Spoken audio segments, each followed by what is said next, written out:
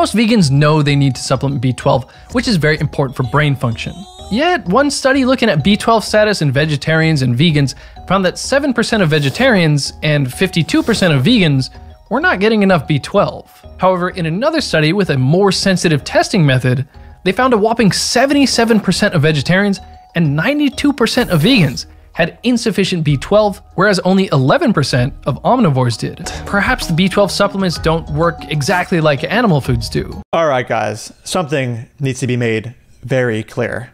This might be one of the worst parts of the video. What I've learned cites some studies showing that vegans have lower B12 levels to support the notion that, quote, perhaps B12 supplements don't work exactly like animal foods do. But if you look at the level of B12 supplementation in these studies, you'll find that in the first study, 81% of the vegans were not supplementing. And in the second study, they did not even assess B12 supplement usage specifically.